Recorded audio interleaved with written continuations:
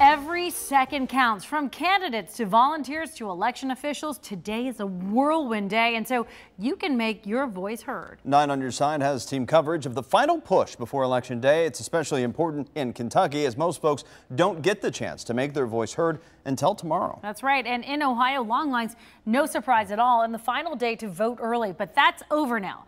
Candidates still want to make a lasting impression on you tonight. And that includes in Ohio's first congressional district. Tom McKee is live right now, and health care is really the big topic in this race, Tom.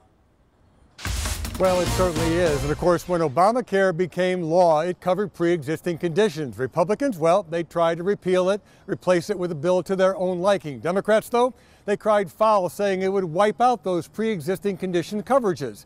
GOP to this day still says that's not what happened.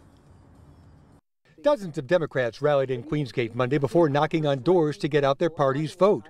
The main message they heard was health care and the story of Colleen Bowman, whose daughter Ella developed cancer before Obamacare took effect. They couldn't discriminate against her for pre-existing conditions or medical caps or tell us that they wouldn't cover cancer. They had to because it was the law. Aftab Pureval says his opponent wants to do away with that coverage. And time and time again, Steve Chabot has had his chance to provide any leadership on healthcare, and instead he ignored Colleen and her daughter Ella. But Chabot, on This Week in Cincinnati, said that's not true. Both of those plans had pre-existing condition coverage. So yes, I did vote to get rid of Obamacare, but to replace it with the American Health Care Act, which also had pre-existing condition coverage. That's what they never tell you. Pureval was accused of violating state election laws and testified before the Ohio Elections Commission about them. In the end, he was fined $100 in one case, another was dismissed, and there was no decision on a third. For months, I've been saying that we followed the letter and the spirit of the law. And today we are vindicated.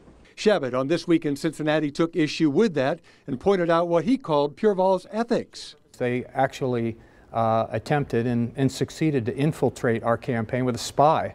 That's in clear violation of uh, all kinds of laws, from fraud to election laws. Now, what's very interesting today is I tried to get one-on-one -on -one or questions to both Chabot and Pureval, but their campaigns said they were each too busy. If I wanted to get Chabot, I had to go to Lebanon for that one-on-one. -on -one. Well, Pureval, he left that rally without taking any questions from any of the media, media assembled there. Tom McKee, not on your side, live in Price Hill.